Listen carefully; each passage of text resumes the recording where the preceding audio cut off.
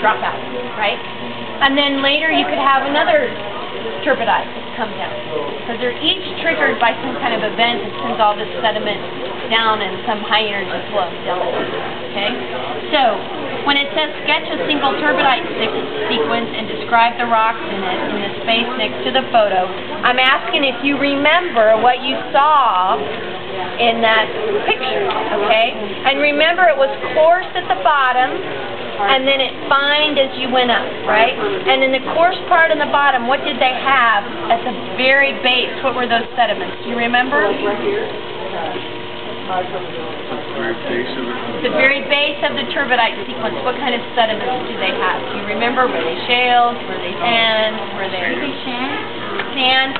Even they showed some like conglomerate type clastic, stuff. basically. Right. And so, you know, I'll just point out that there are some of those on this Okay? And then they showed some sandy stuff above that, right?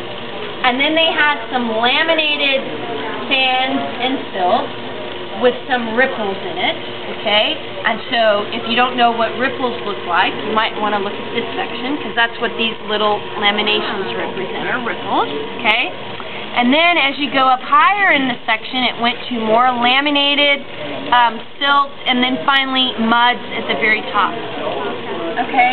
And so that's what I'm asking is for you to make the connection between that just totally idealistic drawing and what you would see in an actual core when you have tur turbid flow like this represents, okay?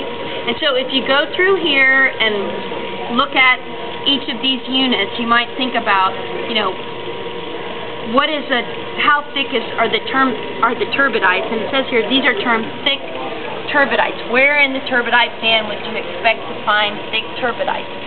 So what I'm asking you to think about is, how thick is a unit of turbidite? Why would it be thick? Why would it be thick? What do y'all think? Why would I get a thicker turbidite versus getting a thinner turbidite? Because it larger particles. Larger particles, that's part of it. Why would I have larger particles? versus smaller parts, more energy. So if I have more energy, where am I on the fan or on the slope, on the continental slope? Where am I? Am I close to the shelf or am I far away from the shelf? Um, the most energy would be right at the end of the shelf, but the or right at the... Right, because where's all this sediment coming from?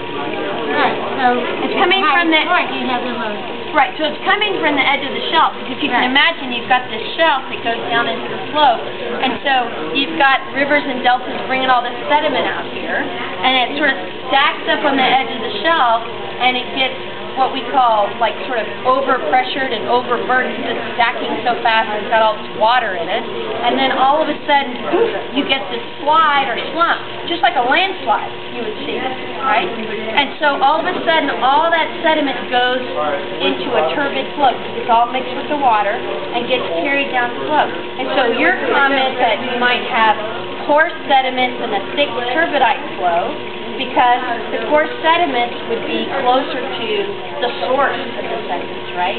It's just like when we talk about in a river, when the river dumps into the ocean, coarse stuff falls out first. So you're actually closer to the energy source, right?